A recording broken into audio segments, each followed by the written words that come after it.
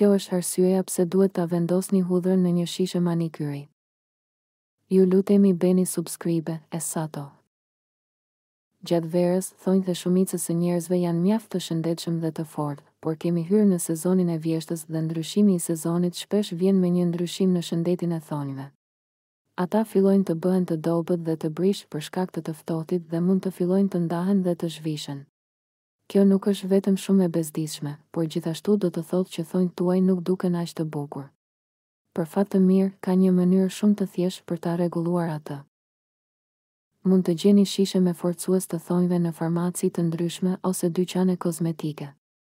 Llaku siguron që thonjtë tuaj të bëhen më të fortë dhe më të fortë, por mund të jetë një blerje mjaft e shtrenjtë. Është shumë më lirë të fabrikoni forcuesin tuaj të thonjve dhe si ta bëni këtë. Me hudhër. Është një ilaç i vjetër, por me të vërtetë funksionon. Hudhra ndihmon që thonjtë tuaj të forcohen. Kjo është ajo që ju nevojitet, një shishe manikyri të pastër, një thelb hudhër, lëng limoni.